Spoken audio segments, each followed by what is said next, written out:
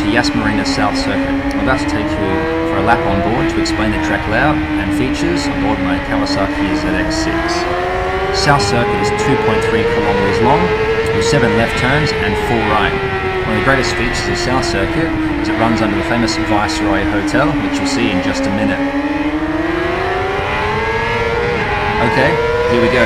Heading down the main straight, it banks to left before opening up into a 300 meter run down to the first tight left-hand turn. We're looking for the 150 meter marker, hit it hard on the brakes and down to third gear to the tipping point, which is where the pit lane ends. Coming through here, a bit more gas and then to the right-hand turn and a quick left again to the bottom of the circuit.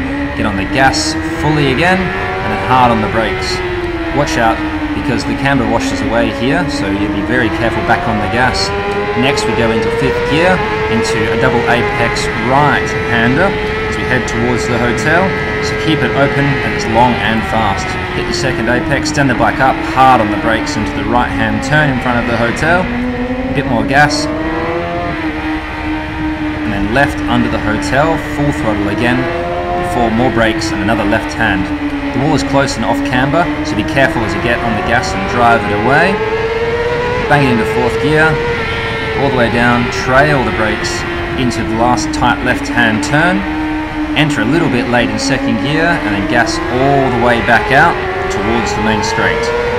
You'll be clicking through every gear now, to the top, through sixth, as we come down and finish one lap of the circuit.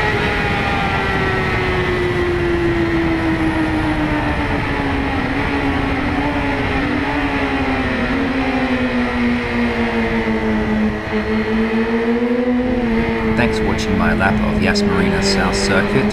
I uh, hope you had as much fun as I did filming this. We did it at about uh, 11.50pm on Friday night. Uh, yeah, it was a great blast, great fun for the whole team. Thanks for watching once again. If you have any questions, comments, or anything else, please let me know.